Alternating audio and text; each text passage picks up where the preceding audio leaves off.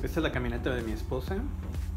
Está presentando el check engine encendido y está marcando el código 302 que es un código que dice el manual mm, que es un falso encendido o en la chispa en el cilindro 2 o sea 301 es el cilindro 1 302 es el cilindro 2 y así se va eh, es una falla común en estas camionetas la Town Country en este caso es una Town Country 2015 eh, ya antes me había sucedido que se había encendido el check, engine por el, el código 301, o sea, el cilindro 1.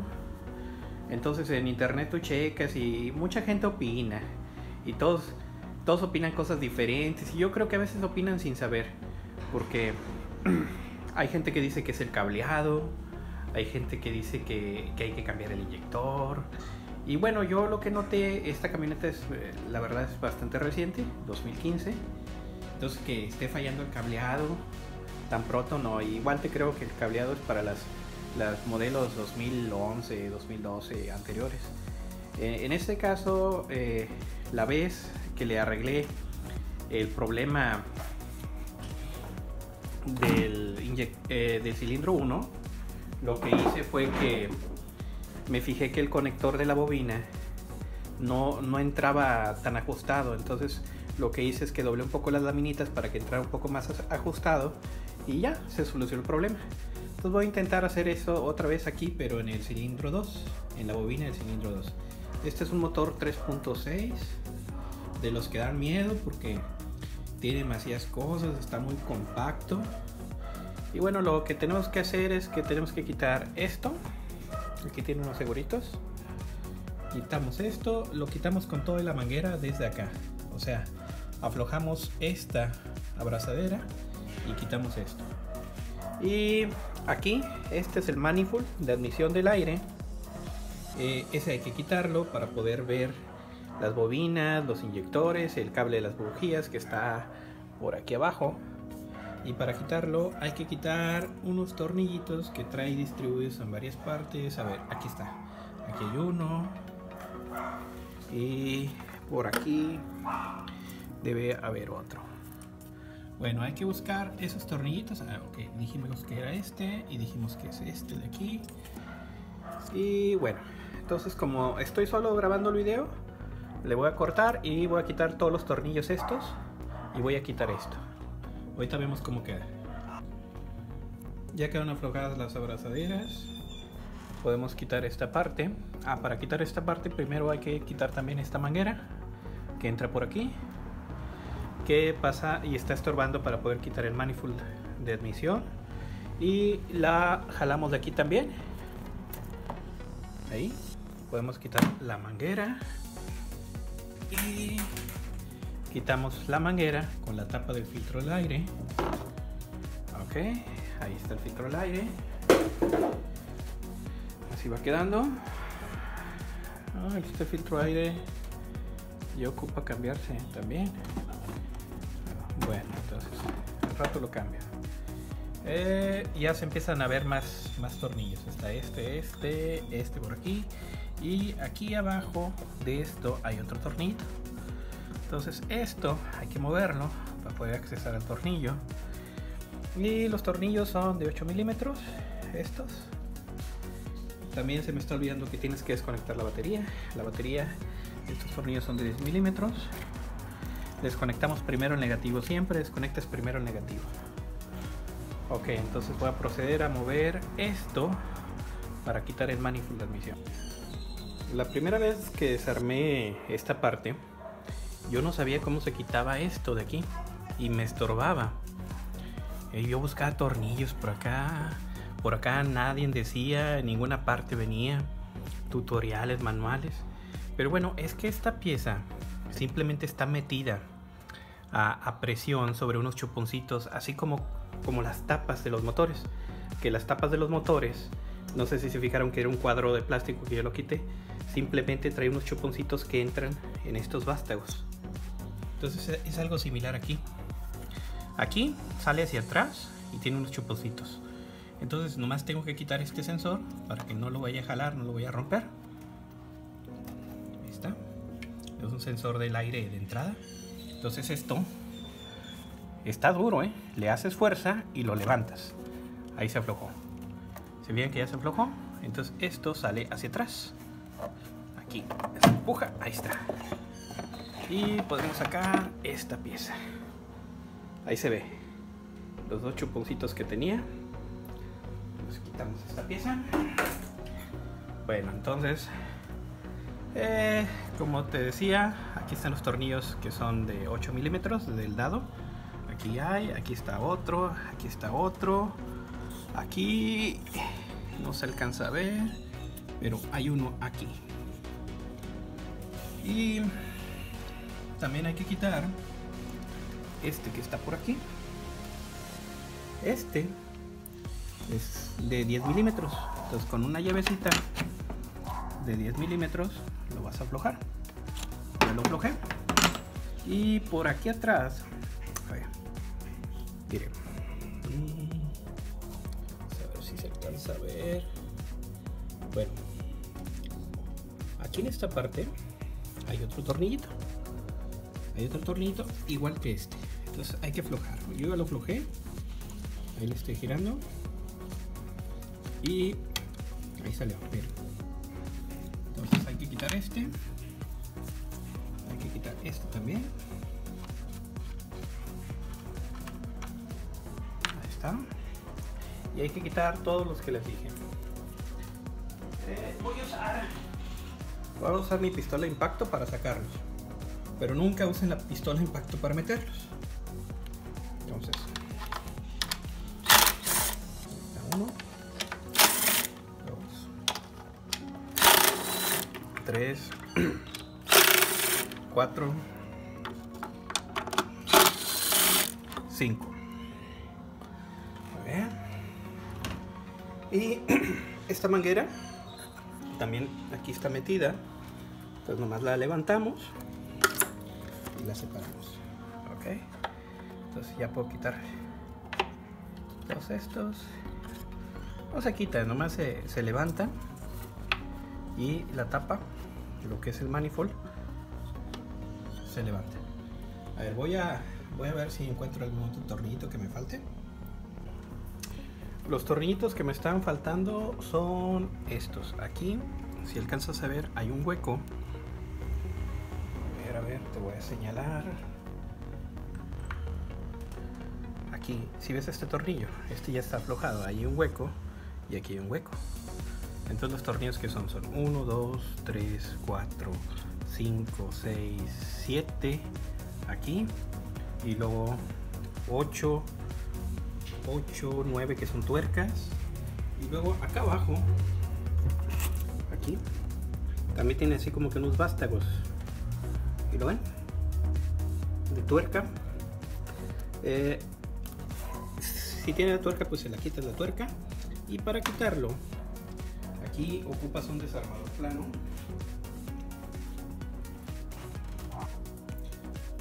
Como les dije con un desarmador plano aquí hay que hacer una pequeña palanca.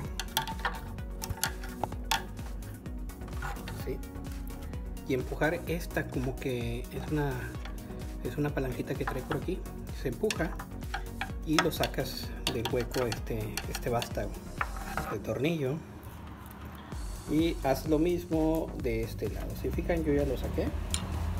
Aquí. Entonces ya que lo saqué de aquí pues esto se levanta. Está. Y si te acuerdas ahí había unos tornillos estos tornillos y el otro que está por allá o sea que sale para atrás. Esto sale para atrás. Bueno igual. Y si ya te fijaste sale toda la pieza toda está completa. Entonces aquí hay cables y mangueras. Entonces igual los puedes desconectar y al final volver a conectar. Se voy a quitar esta manguera voy a quitar esta manguera más la voy a jalar y voy a quitar este sensor voy a quitar este cable ok ya quedó. Ya desconecté todos los cablecitos estos. Y desconecté esta manguera. Y desconecté esta manguera. Y cuando quité esta manguera noté algo que tiene una ligera rotura ahí a la entrada. Entonces esto hay que cambiarlo. Por lo pronto le voy a poner silicón cuando lo vuelva a poner. Y pues esto ya lo puedo levantar. Y ya va a salir ok aquí nomás se me está atorando con la manguera esto de aquí abajo. Estoy operando con una sola mano. A ver. Ahí está. Ya quedó y ya puedo levantar esto. Aquí. ah me faltó una manguera. Me faltó esta manguera de aquí. Entonces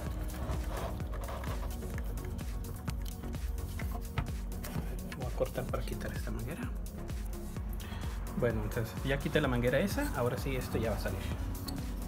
Levantamos ahí está. Ok es el manifold. De admisión entonces hay que tener mucho cuidado de que no le caiga basurita, piedritas a esos huecos.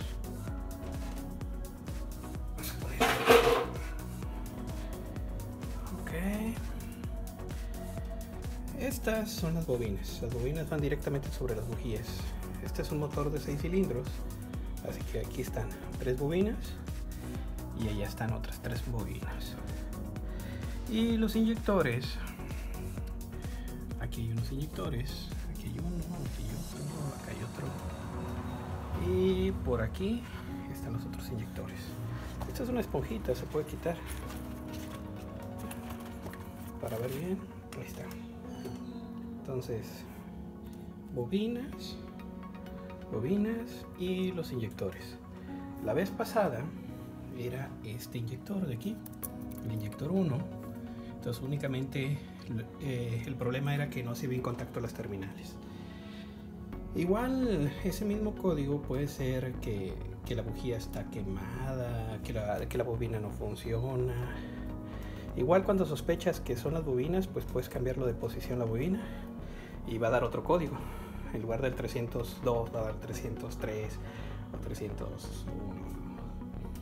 Bueno, entonces déjenme checo a ver qué puedo ver y ahorita les muestro. Ya quité el manifold de admisión y pues aquí podemos ver las bobinas. Como les decía la vez pasada, el problema fue aquí. Aquí está el inyector y aquí está la bobina del cilindro 1 y lo que tenía era las laminitas no hacían bien contacto. No era el cableado como decían en internet, era ahí. Eh, el código es el código que está saliendo P302 que aparece en los manuales como un misfire, misfire en el cilindro 2. Faltó una chispa y cuando falta la chispa es porque es falla del inyector o es falla de la bujía o de la bobina. Entonces, este es el cilindro 2. Aquí está marcado, se ven unos puntos que pusieron ahí. A lo mejor en una re reparación previa, pero es, no, eh, no están bien. O sea, este no es el cilindro 1. No, no. Eh, ahorita les muestro una imagen de cómo están los órdenes de los cilindros en este motor, que es el motor Pen, Pentastar 3.6. Es el mismo motor que usa el Chrysler 300M, eh, la Town Country, eh, ¿cuál más? Uh, una camioneta grande también pacífica, es el mismo motor.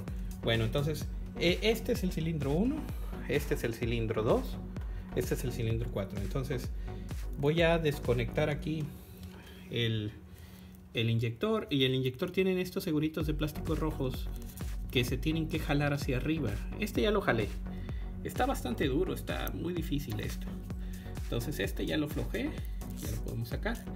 Y ahí están las laminitas, es que les decía la vez pasada había tenido la falla en el cilindro 1. Entonces lo que yo hice fue que usé un clavito y con el clavito le moví las laminitas, las doblé un poquito más para que hiciera mejor el contacto.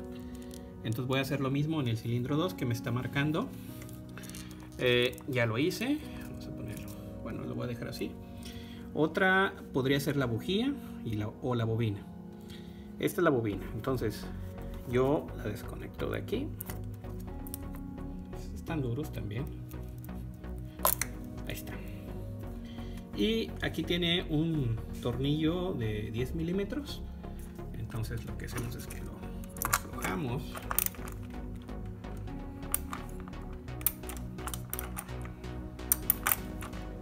Ahí está. Y lo sacamos.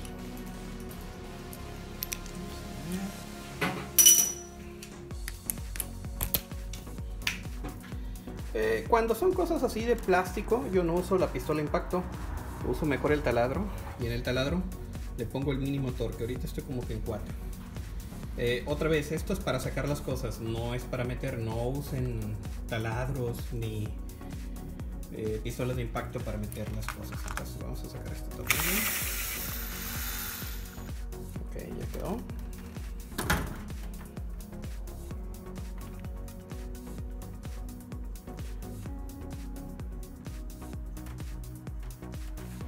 Está.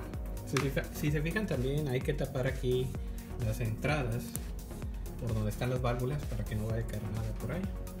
Y la bobina lo que hace es que se jala y lo que pasa es que se desprende de la bujía. Ahí al fondo está la bujía. Las bujías, muchas bujías son de 5 octavos. Pues aquí tengo un dado de 5 octavos. Entonces hay que aflojarlo con el rash. Ahí está, ya lo aflojé con el rash. Y la voy a sacar con el destornillador.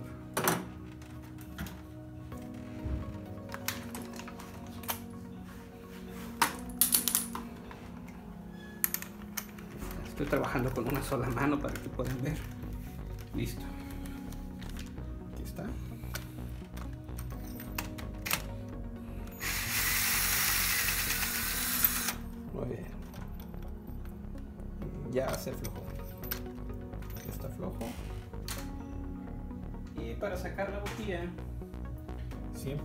Bueno tener estos imanes que parecen como que una antena y tiene un imán en el extremo. Pescamos la bujía. Si no sale es que todavía está. Ahí está. Entonces saqué la bujía. Bueno. Entonces, lo que voy a hacer es que. A ver, esta bujía. A, a lo mejor no se aprecia ver aquí con la calidad de la cámara.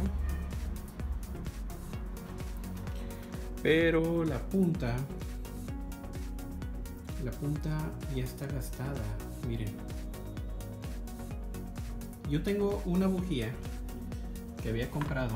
Estas son bujías muy caras porque son, son bujías de iridio. O sea, son las bujías más caras que hay y son las que usa este tipo de motor. El, Pentastar eh, 3.6. Y bueno, esta bujía Más tengo una, cuestan como 300 pesos cada una. Ah, no sé si alcanzan a ver la punta, se ve diferente. Se ve como que más afilada. Y en esta bujía, la punta se ve chatita. Igual el misfire que estaba ocasionando era la, la, bujía y no la bobina como, como la vez pasada. Entonces estaría bien que que después cambiara todas las bujías. Bueno, entonces por lo pronto voy a cambiar la, bujía del cilindro 2 y también para descartar que sea la bobina, para descartar que, este es el problema, lo que voy a hacer es que voy a cambiar la bobina 4 a la bobina 2 y esta a la bobina 4. Entonces si, si sigue fallando, si la, la, falla es la bobina, pues allá en la computadora me va a marcar un código, pero ahora un 300, problema 304 y con eso identifico que esta es la bobina. Eh, si funciona todo bien, pues será la bujía, ¿verdad?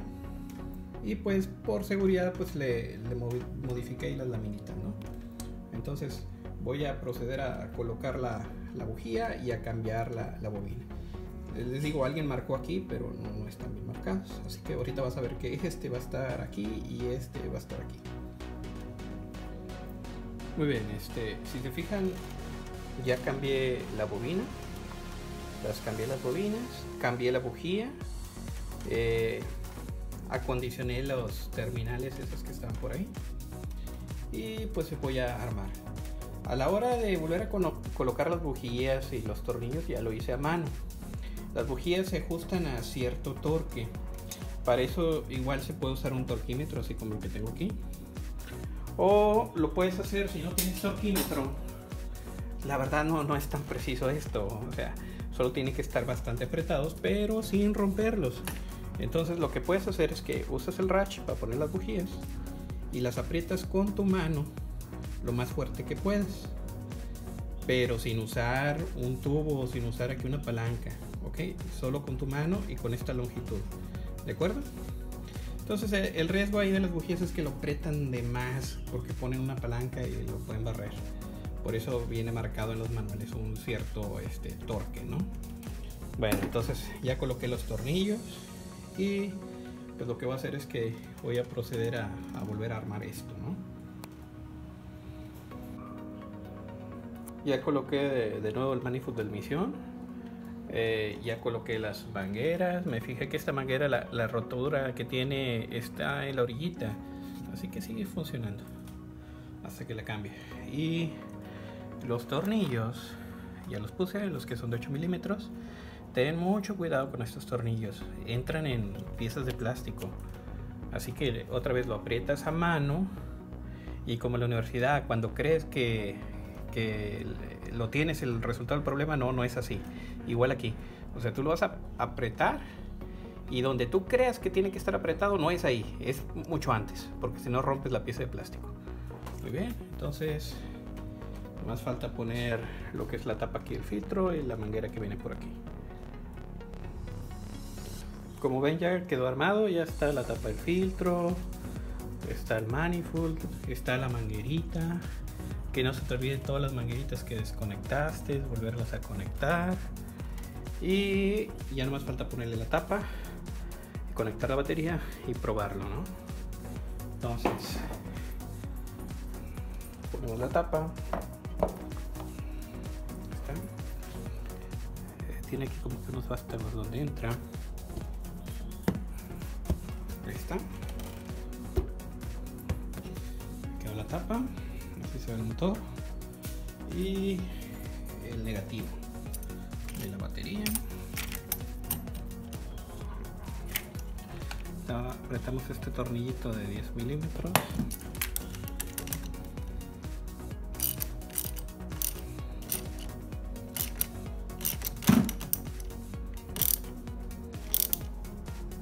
con tu mano con tu mano fuerte, sin usar tubos ni nada. Fijan que hasta no lo agarré del extremo, lo, agarré cerca para no que no hiciera mucha fuerza. Ahí está. ¿Ya quedó? Bueno, entonces vamos a checarlo por acá.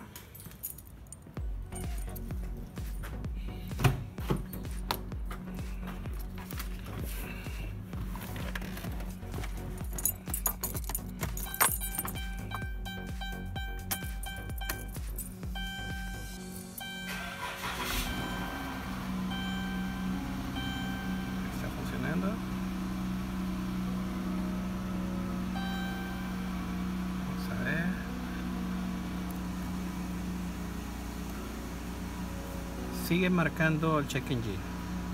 Tenía dos, dos problemas. Marcaba el 302, que era Miss, Miss 5 en el cilindro 2, y marcaba el 420, que era falla en el sensor de oxígeno. Cuando no quema bien el combustible, se puede dañar el sensor de oxígeno. Igual, esto que está marcando es el sensor de oxígeno. A ver, pues ¿cómo lo checamos? Pongo la llave y la pongo y la quito. Hago cerrar la puerta para que no haga ruido. Ok pongo y quito la llave tres veces seguidas. 1, 2, 3 ahí está. Problema 0113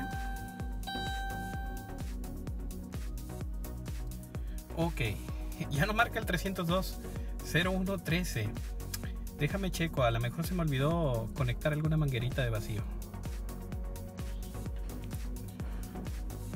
Bueno, ya checando el código, el 0113 dice que es falla en el sensor de eh, aire a la entrada. Y regreso aquí, quito la tapa y me di cuenta que no conecté un sensor. De hecho, es este, el que no conecté, que es el sensor de aire en la entrada. Se me olvidó. De hecho, el cable no lo vi, pero aquí está, miren. Entonces me faltó conectar el sensor de aire en la entrada, lo conecto aquí y luego lo vuelvo a checar. Vamos a hacerlo. Hacerlo este.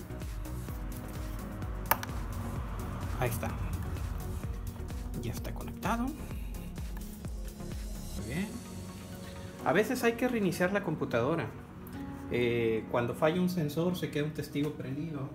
Y para reiniciar la computadora eh, tenemos que desconectar el negativo y dejarlo unos 10 segundos desconectado.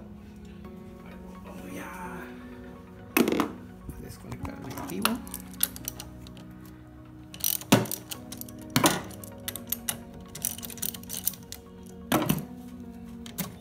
Este. 1, 2, 3, 4, 5, 6, 7, 8, 9, 10. Sí, conté más rápido. Conté más rápido, pero ya quedó. Bueno, es más, lo voy a dejar ahí. Y pongo la tapa.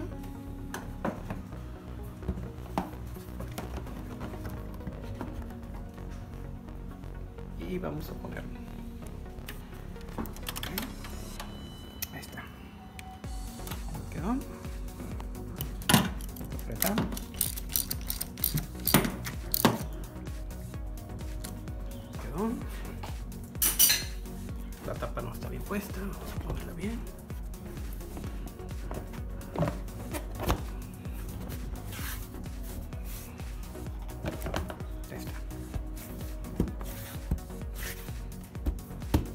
Listo. Volvemos a checarlo.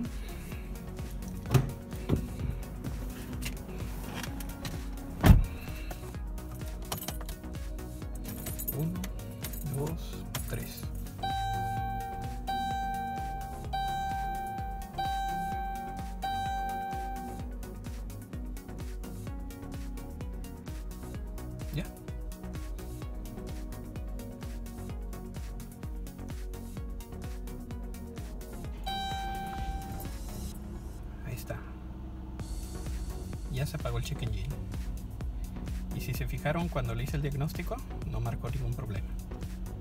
Se oye hasta mejor el motor.